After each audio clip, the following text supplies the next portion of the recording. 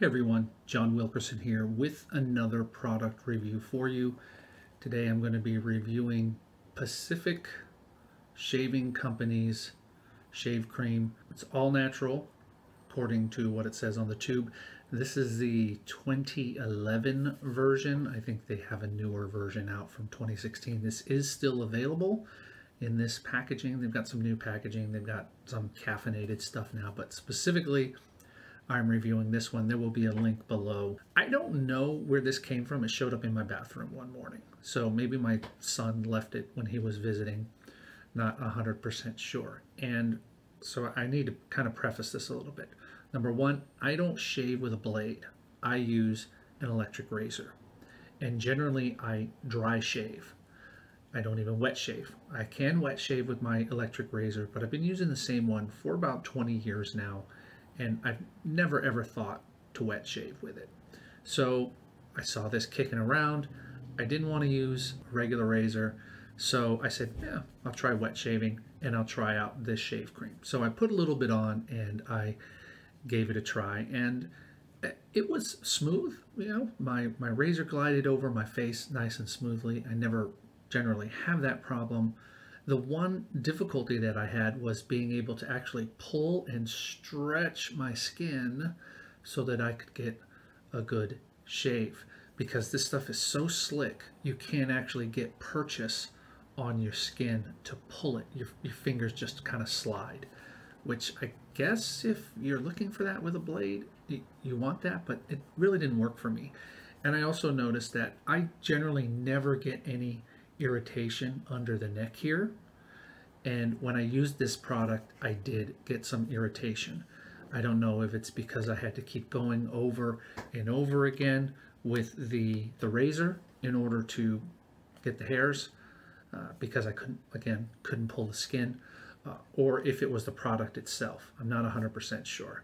But this is 100% natural. Let me read the ingredients to you.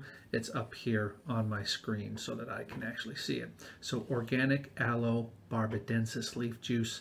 Potassium myristate, potassium stearate, sodium myristate, sodium stearate, glycerin, organic helianthus annuus, or sunflower seed oil, uh, shea butter, white tea extract. I'm just going to read the short names. Green tea extract, uh, organic calendula officinalis flower extract, uh, chamomile extract, uh, looks like lavender extract, sweet almond extract, uh, comfrey extract, I don't know what that is, clover extract, uh, tocopherol acetate, chlorocalciferol, retinol palmitate, organic althea, uh, marshmallow root extract, never heard of that, uh, oat kernel extract, corn oil, interesting, they call it Zea mays, uh, hydroxyethyl cellulose sorbic acid, organic citrus, arantinium dulcis, peel oil, in other words, oil peel oil. I wish people would just list it as what it is instead of trying to put the scientific name and look cool when they're doing it. Just just put the real ingredient there. There's the ingredient list if you want to kind of snapshot this and take a look at it.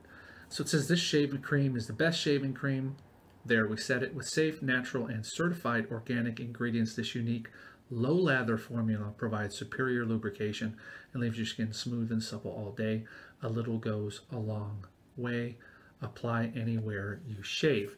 So, I mean, it's nice. It's smooth it worked great, but I think the biggest issue that I had with this was, like I said, it caused some irritation on my neck and it was so slick I couldn't pull my skin tight. Now, my the shave was still pretty close, but not as close as I normally get with my electric razor. So that's Pacific Shaving Company's all natural shaving cream, good for the skin, good for the wallet, and good for the earth.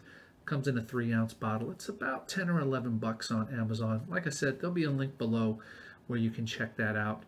And again, if you want to see more product reviews like this, let me know. Hit the like button, subscribe, ring my bell, do backflips, do whatever it takes to uh, find and hear and see these videos.